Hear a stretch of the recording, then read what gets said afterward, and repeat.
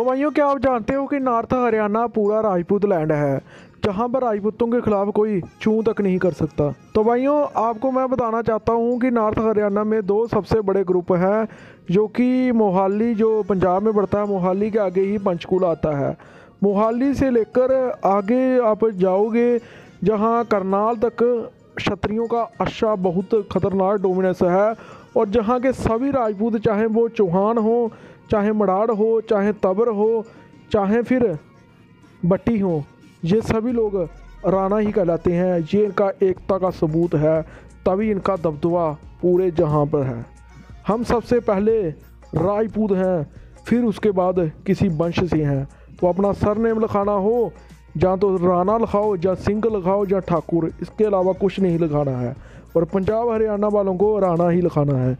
तो मैं आपको बताना चाहता हूँ कि भाइयों, जो मोहाली से शुरू होता है, पंजाब में बढ़ता है, मोहाली से आगे जितना भी एरिया है, मोहाली से लेकर जो पंचकूला, बरवा, पंचकूला का सबसे बड़ा गाँव बरवाला है। बरवाला जो बाटी राजपूतों का है, बाटी टोनी राजपूतों का।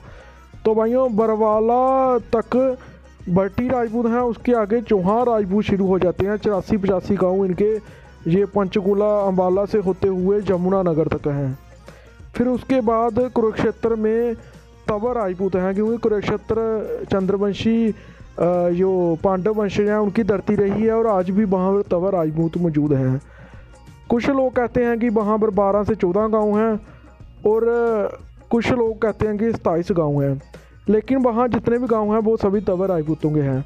उसके बाद आगे करनाल। करनाल के कैथल में मडार हैं, उसके आगे चौहान ज़्यादा हैं, फिर तवर भी हैं और भी सभी यही तीन चार वंश हैं।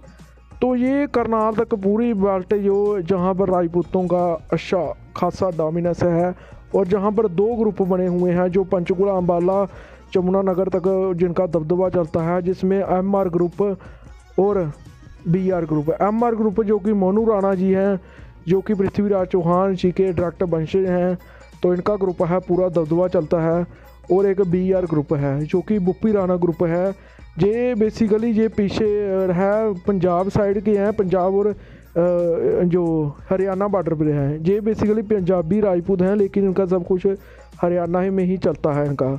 और ये दो ग्रुप जिनका नॉर्थ हरियाणा में पूरी तरह दबदबा ज़ोर है। तो भाई इसके अलावा अगर भिवानी की बात करो, वहाँ पर भी तवर और बहुत परमार वगैरह राज करते हैं। लेकिन ये नॉर्थ हरियाणा बताया, जहाँ पर राजपूत राणाओं का बहुत ही अच्छा खासा दबदबा है। तो सभी भाई वीडियो को ज़्यादा से ज़्यादा शेयर करें कि चाहे बुप्पी राणा ग्रुप हो, जो कि दुल्ला भट्टी के आदर्श हैं, जिसमें सभी वंश आते हैं, और चाहे फिर एम आर ग्रुप हो।